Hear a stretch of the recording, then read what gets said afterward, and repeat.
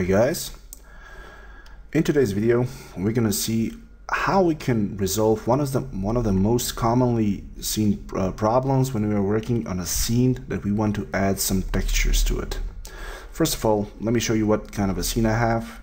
If you watch the previous videos, you're gonna notice it's the same scene that we use for the uh, interior lighting for, with V-Ray. Now, just made some changes. Let me show you. Um, all right, first thing I'm gonna do is I'm gonna select my entire room, right click, go object properties, and in the general tab, I'm going to click this backface cull. That is going to call out the back face of the polygon so I can see inside my room. Now, once I've done this, I've basically assigned different IDs to different parts of the room. So as you can see, the inner part or let me just zoom in. The inner part here has an ID of 1. The walls have ID of 3 and the ceiling has ID of 2. The reason for this is because I want to apply different materials to each of the, uh, these elements. So when you go over in the material editor, I have a multi-sub object with three uh, materials, we have the floor, walls, and ceiling. I have it applied here, so when I render out, I get basically something like this. So as you can see, nothing fancy, it's a very, very plain white room with a gray floor. Now, let's say we want to make this floor wooden we, we want to use a wooden texture. So what we would do is we would probably go over and find a wooden texture that we like either on a texture site or on Google. So I have it over here. I've opened up Google and all I did was type in wood. The first one that came uh, to mind was this texture and I'm just gonna press view image, right click, save the image and I'm going to save it as a wood base. I'm gonna click save. This is gonna save my base. All right. Now, this is what we want to do. I'm gonna go back to the scene, press M, go inside the floor texture, and from here, I want to go ahead and choose here, go bitmap, find the texture I downloaded here, press open. This is going to add it to the slot. In order to be able to see how this thing looks like, I'm going to press over here where it says show shaded material in viewport. And there we go. Right away, I can see that I have something on the floor. Now the problem with this, even if I render it out now, it's not going to look bad. Let's just try it. Let's just see what happens. So I'm going to render it out. And as we can see, the wood does look natural. But the problem here is the scale that with this texture is it, it's at. Basically, if you look at it, it doesn't look right. It looks like the seams are way too big. These ridges for the wood, they don't look natural. So what we want to do is increase the tiling of this map. So we would go over here where it says tiling, just close this. I'm going to rotate it around so you can see it better. I'm going to go tiling and type in 2 by 2. And this is where the first problems arise. Now, since we downloaded this image from Google, and it hasn't been photoshopped to be uh, seamless so we can tile it without a problem. We end up with a problem like this. So let's see how we can deal with this problem. All right, so in order to do this, we're gonna have to jump over in Photoshop. So let's go ahead and open Photoshop. And all I'm going to do is I'm gonna take the texture I downloaded and drop and drag and drop it inside my viewport. Just get this out of the way. And this is what I have right now. Now, before I start doing anything, I want to make sure that I'm working on a square uh, size texture. So I'm gonna go over to file, go click new, and I'm going to make a 2048 by 2048. I, I usually use these uh, kind of textures like either 2K or 4K so I can later on use it as a texture that's a number of 2. Alright, so go click OK and we have this. Now I'm gonna go over and click and drag this entire texture over here. I'm gonna uh, uh, copy it once so just pr press Control J and this is as you can see it's making a new layer. Just drag it down a bit. We can either use it like this or I can press Control T so I can enter in the edit mode right click and flip it horizontally. And then just pull it down until it gets to the bottom like this. Okay. Now I want to merge these two. Just press Control E to merge the top with the bottom part. Control E. Now we have it merged. But if I like move it around, we can see that we have some of the texture that's going off screen. Just so that, that this, this doesn't happen, I'm gonna go ahead with the control uh, or the selection marquee. I'm gonna make a controlled selection on the entire screen and again, I'm going to make a new uh, layer with what's selected by pressing Control J. There we go. Now I'm going to delete the previous layer. The reason for this was that now when I move this layer, it's basically what the only thing that's uh, seen is what's on the screen.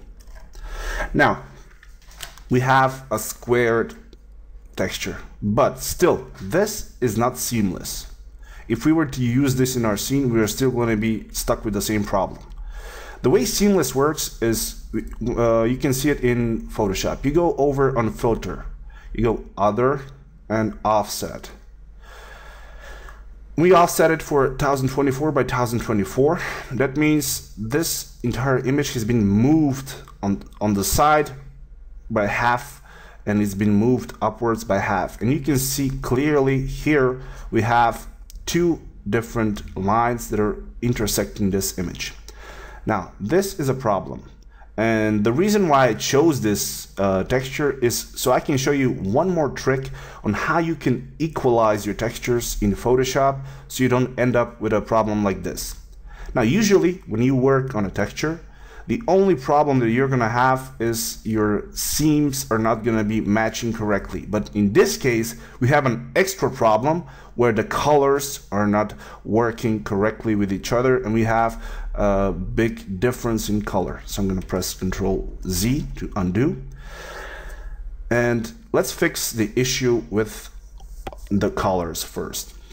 So this is a neat trick and it's a really nice thing to know all you got to do is select your layer and you need to make a copy of it. So again, control J, as you can see now we have a copy over here. Now we open, we're gonna go over to filter, we're gonna go blur, and we're gonna average out the color. So we have an average color of this. Now take the lower layer and drag it on top of the colored layer or the average layer.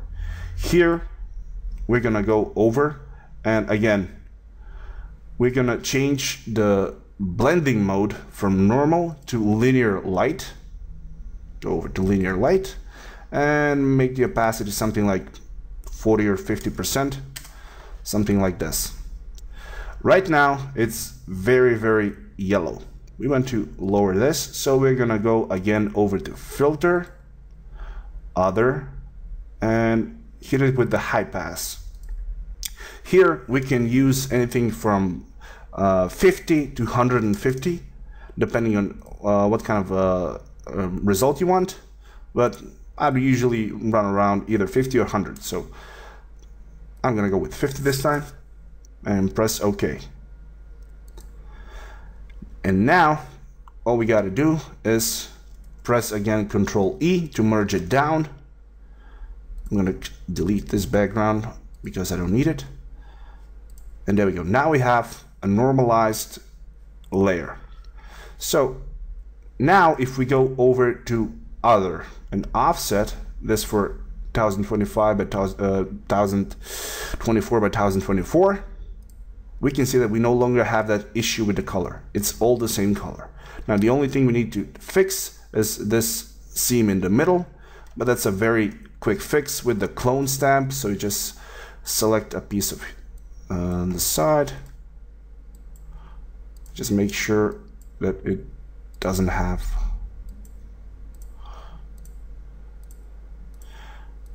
try to keep it so it doesn't look like it's all broken up nope don't want to use this. As long as this seam in the middle is not visible we're great. So now if we offset it again we no longer are seeing any seams. So with this we have basically made a seamless texture that has been equalized with the color. So oh, I'm gonna go over and save as and here. I'm gonna make it a JPEG and call it uh, wood seamless. Press save. Okay. With this we've basically made a seamless texture. So before I jump over back to max I'm gonna go over and press Control U. This is going to desaturate this actually Control Shift and U this is going to desaturate my um, image. Here I'm going to save this JPEG. Wood seamless but instead of seamless I'm just gonna call it bump. And now I'm gonna press control M. Or not okay Then we're gonna go over to curves. And with the curves, I'm gonna make something like this. All right, and this I'm gonna save up as a specular map. So wood specular. Save. All right, with this we have the two maps, or actually the three maps that we can use back in our scene in 3ds Max. So let's jump back and see how we can use these. Alright, so back to Max. Again. Now I'm simply going to take the image that I used here, the previous from the previous one, and I'm going to change it with the one we made, the seamless. This is what I'm actually doing on the other screen. I'm just going to pull the seamless over to the wood base. I'm going to put it aside again so it does it's not in the way. And now if we take a look at our scene, we can see that even though we are tiling this, we have no more issues on the ground. Even if we go like three here, you see that the image is starting to get narrower, but we see no. There we go, like two and three. Let's see how this looks when we render it out. Let's render production. And there we go. This is what we get with this texture that we just made in Photoshop. So it's totally seamless and it's looking great. So let's just give it an extra bit of realism with the two extra maps that we made with the bump map and the specular map. I'm gonna go over, let me just go ahead, and unhide. We have our teapot over here, which we're just gonna use it so we can populate the scene a bit. It doesn't look so empty.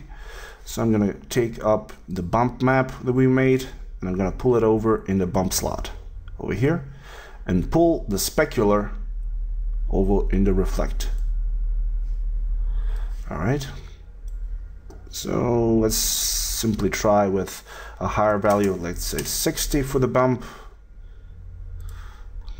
And let's hit one render and see what happens here. All right. Once I pressed the render uh, button, I actually noticed an issue, but I didn't want to stop the rendering because I want to show you how to resolve this issue as well, or make sure you don't make that uh, mistake. What I actually did was when I placed the specular in the bump map, I didn't change the tiling settings. So this is, as you can see, the diffuse has a tiling of 2 and 3, while my wood specular, even though it's the same map, it doesn't have the same tiling. So make sure you use the same tiling for your spec map and your bump map. So 2 and 3. And now, if we were to make one more render, it's gonna reflect the actual map that we use. But let's just go ahead and see it one more time. And there we go. Now our floor looks like it's been lacquered and it's having some nice realistic um, reflections that are governed by our specular map and our bump map.